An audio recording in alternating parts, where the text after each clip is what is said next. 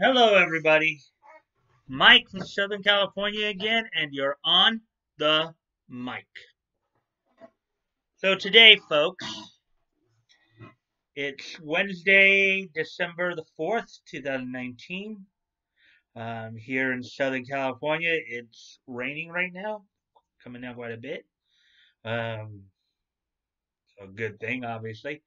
Um, on today's episode, as I mentioned yes in yesterday's episode of on the Mike during the Anime Convention preview, I'll be talking about um, the hiring of Johnny Yong Bosch to replace Vic Mignogna or Mignogna as the voice of Broly. Um,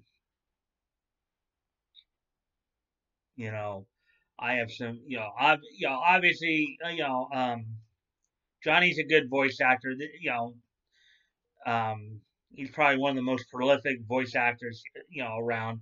A lot of people still st- feel that you know Vic will always be Broly to them. You know, Johnny's taken over the role. Vic did give his blessing um, to him. It's been pretty much rumored that they have been friends, and you know Johnny has pretty much remained neutral throughout all of this. Or, well, he hasn't said anything too public, you know. Um, and of course, you know, um, I have my own. I have I have another theory. You know, granted, Johnny's a very talented voice actor, so don't get me wrong here, but I feel like there is something that has to be kind of put out there just to kind of, you know, just kind of remind everybody just the type of people Funimation are. Okay, remember, Vic is still going through the appeals process. He's the court, the case is still going on. So, I, you know, Johnny's a good voice, and I know a lot of people are happy. And you know, he, you know, if anybody could replace Vic as Broly, he's probably the one that most people would want to see. You know, and he came out. He was very gracious. He was, you know, Vic was very gracious about it. You know, disappointed that he couldn't continue the role, but still is very gracious. You know, Johnny and Vic have been shown to still be good friends in all this. Um,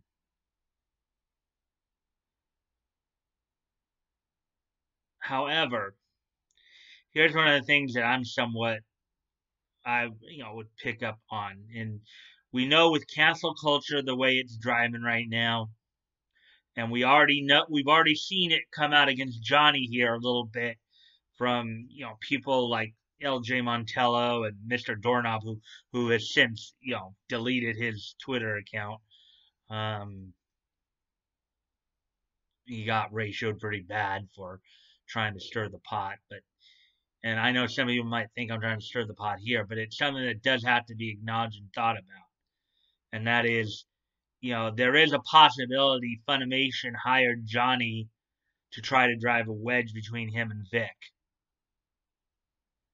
You know, depending upon how this court case, how the court case continues, and and if Vic does win. Now, personally, I do believe that the facts are on Vic's side. He will win his appeal. Okay, but in in a, a certain way, I do believe there are those at Funimation who are in power who might try to use this as a way to drive a wedge between Johnny and Vic.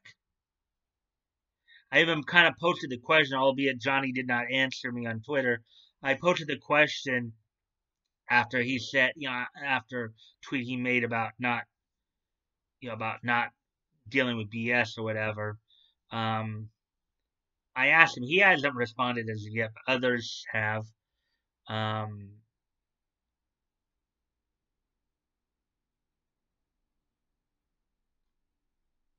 you know, um, well, what what would happen if Funimation threat? You know, I asked I asked Johnny this. What would happen if Funimation threatened to fire you because you you wouldn't you wouldn't denounce Vic? What would you do then? Because I do think that it is entire people. There's some people who said, "Well, no, cancel culture is not that big. It's not not that big. You know, John Johnny's a good guy. Well, Vic was a good guy too. Okay. You know, that's the problem with cancel culture is that they'll not they, they seek to they don't just seek to just get rid of you. They want to ultimately burn you down. They want to leave nothing but ash in their wake. And I don't mean the Pokemon character. Okay. Um and Johnny has started to get hit with some of this too. Um, as I said, LJ Montello. This is LJ Montello just providing the first barrage, but I'm sure it'll come even more and more. Um,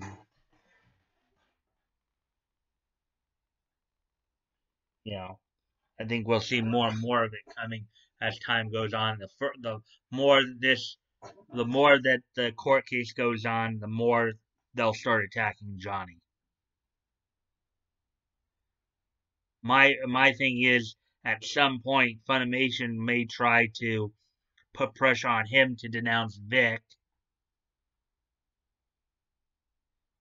And then, you know, they may threaten to fire him, you know, because basically at this point, I think we've we've all seen this year how corrupt Funimation is.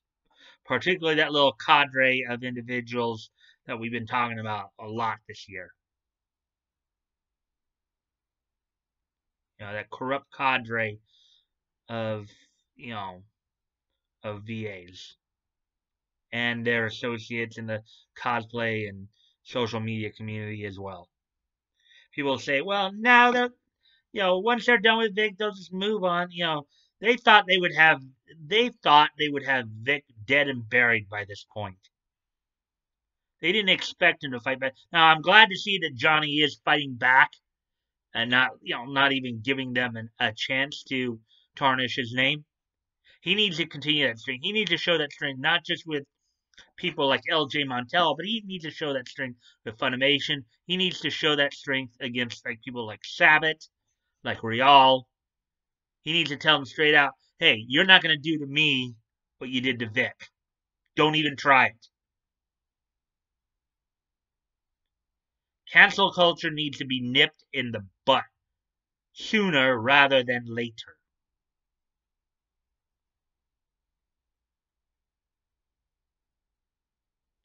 So, with that being said, I'm I'm happy for Johnny. You know, getting getting a role, um, getting the role. You know, Johnny, I think is somebody that everybody would you know would more or less be happy with. If if anybody had to be replaced if, if anybody had if anybody had to fill that role, and it's going to be a tough role because he's just dealing with the first barrage right now. He's going to probably get more of this over the next few months.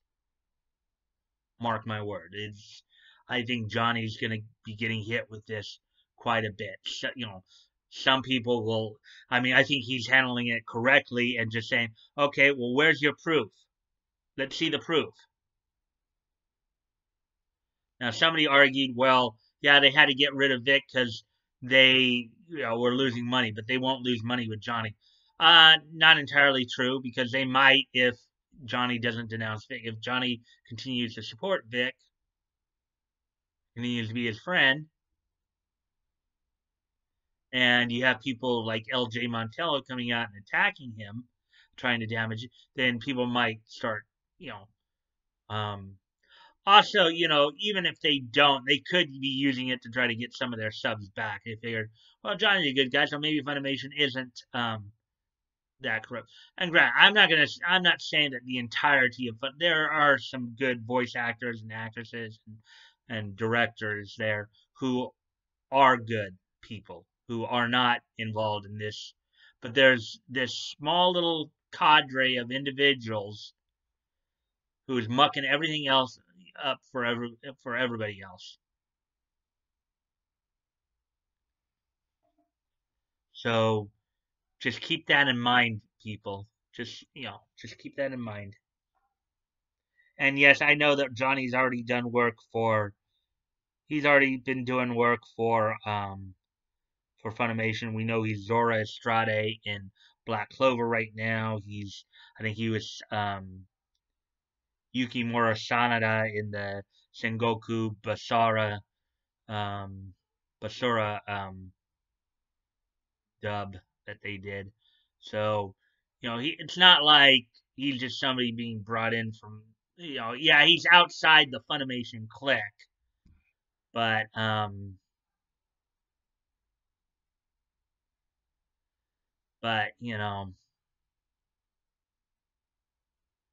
just I just think people should be aware of that possibility that Funimation, aside from Johnny being a very popular voice, you know, voice actor and talent, and being multi-talented, just like Vic is, that um,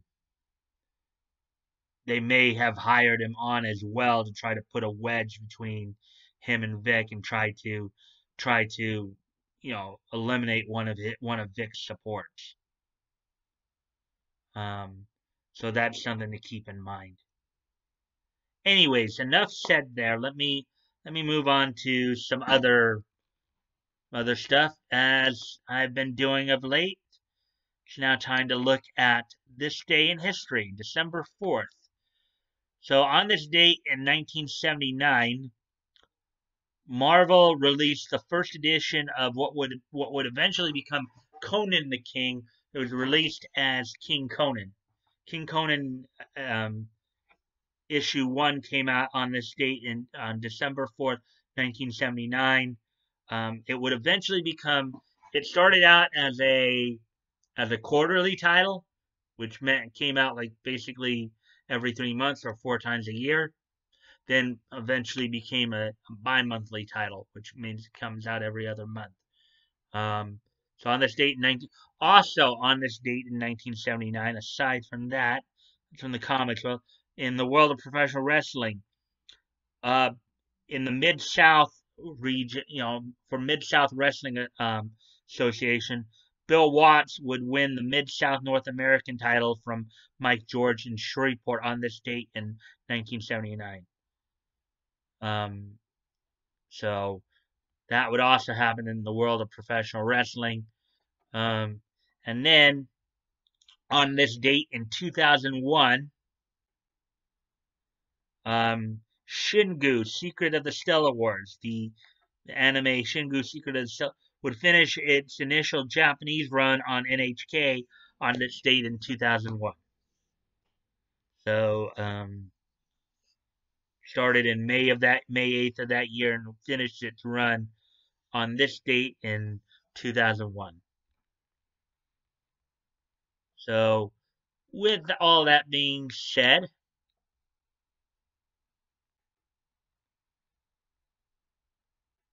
with all that being said, um, let's see, you can check if you you know you can check the links below. My Twitter handle will be down there. If you should want to contact me directly, you can always direct message me or comment on my tweets or comment on the videos. Um, also, um, I'm promoting a bunch of different dub companies out there because always remember, guys, Funimation is not the only game in town. There are other companies out there. You know, Johnny, of course, is not from out here in LA, um, and other voice actors and actresses who who who do appreciate their fans and will appreciate your your fanfare far better than some of these some of these individuals at Funimation. Um, these dub companies as well would love to have your business and have you supporting them and getting their VAs invited to cons. remember, people, the if you want to if you want to meet a, a particular voice actor or actress, best way to do it is to you know contact your local conventions and get them invited to get them invited to you know the, your local cons. Um, and I, am also still promoting the GoFundmes for um, for the Ortiz family and for you know Vic's GoFundMe. Um, on the Ortiz um, family one, um, they had a they have a set goal of five thousand dollars. They they're at four thousand five hundred ninety five dollars right now. Um, you know, right now construction is going on for their for their house. they've now moved into um, a rental rental home for the time being, while while the while their neighborhood is being like re remodeled. Um, so you know, and also you know, Vic, you know, you guys know that Vic is appealing as well. He's appealing the final ruling in the TCPA hearing. Um, as always, guys, as always, don't feel like you have to donate. I'm sure they appreciate it, but not if it means you go bankrupt. Um, if you have the means to and it's on your heart to do so, please consider donating. If um, if you've already donated, please consider donating again. And if you cannot donate, you can still help out the cause by sharing the link. Sharing is caring, after all. You know, maybe you yourself can't can't you know donate. You know, maybe you don't have the means to donate, but maybe there's somebody in your circle of friends who might see this and say, "Yeah, this guy's getting the the cheap end of the stick here. I want, you know, you know, um, I if if I can help, I want to help too. You know, you never know; it doesn't hurt to ask. And with that, guys, if you like this content, please consider liking, commenting, sharing, and subscribing. Always look forward to the conversations with you guys. I know sometimes you may not always agree with me, but as long as we can civilly and respectfully disagree, and at times it's best to just agree to disagree and not like really continue banging each other over the head. Because, you know, it's not really that great of an argument if you just bang your head against walls and, you know, you know you're not going to change a person's mind, yet you continue trying to do so. But, you know, um, so with that, until tomorrow, bye.